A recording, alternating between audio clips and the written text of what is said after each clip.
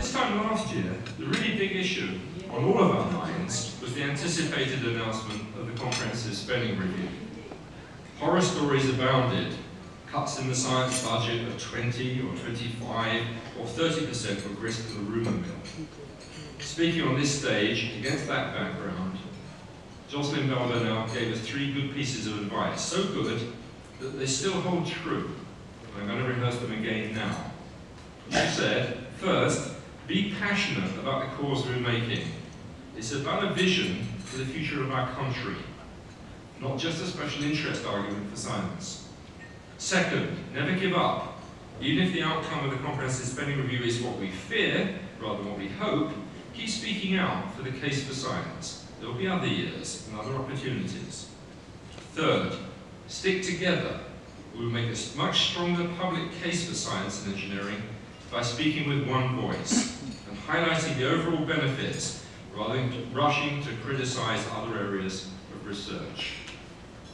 Well, by and large, we did speak with one voice, and we did focus on the case for investment in science as a key force to drive renewed economic growth.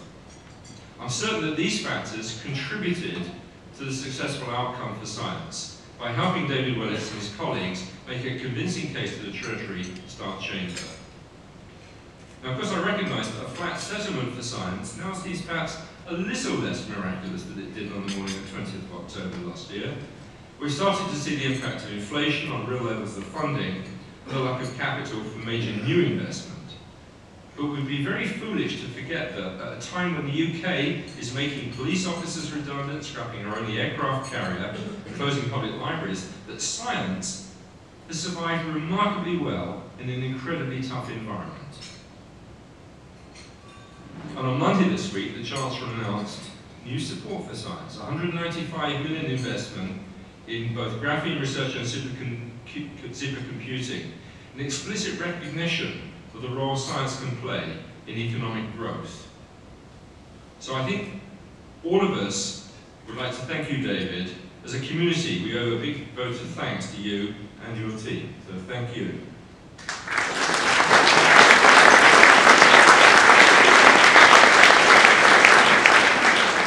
But that doesn't mean that we should forget Jocelyn's remaining message. Keep speaking, speaking out for the case for science. There'll be other years and other opportunities.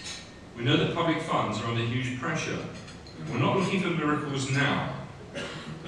But if the government shares our view that research excellence can restore Britain's economic vibrancy, why not make a firm commitment for the future to renewed investment in the science base? What a strong positive signal that would send out to our young scientists and engineers about their future prospects here in the UK.